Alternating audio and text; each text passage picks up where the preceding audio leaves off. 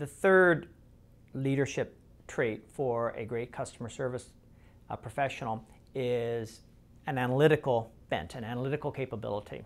There are many metrics to measure, to collect, to sort through in a, in a customer service operation, ranging from sales ratios and, and cost ratios and the percentage of customers who get serviced within 30 minutes and the uh, rate of customer contacts that are coming in. So an analytical capability is, is, is really a must.